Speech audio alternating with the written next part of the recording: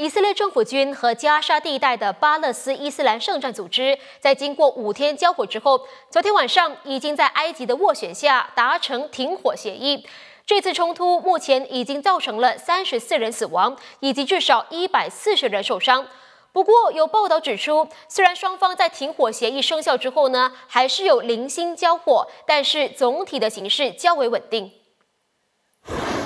以色列与巴勒斯坦伊斯兰圣战组织自星期三在加沙地带爆发猛烈交战，许多地区的民宅都成了以色列袭击的目标。面对被轰炸成废墟的房子，民众也只能蹲坐在残垣败瓦中放声大哭。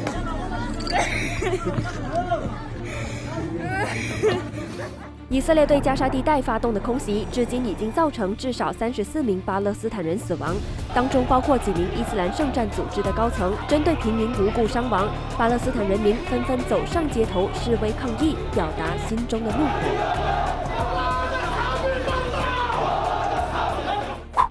正当外界担心以巴局势进一步恶化时，埃及方面昨天宣布，以巴双方已达成停火协议，并将在当天晚上十点生效。伊斯兰圣战组织随后也宣布接受埃及的调停，并表示只要以色列遵守协议，他们就会克制。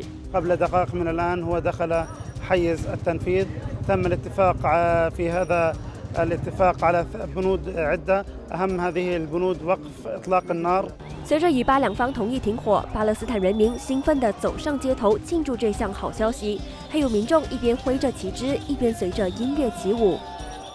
尽管如此，以巴双方在停火协议生效后仍有零星交火，加沙地带依然能够听见炮弹声，但暂时没有出现任何伤亡报告。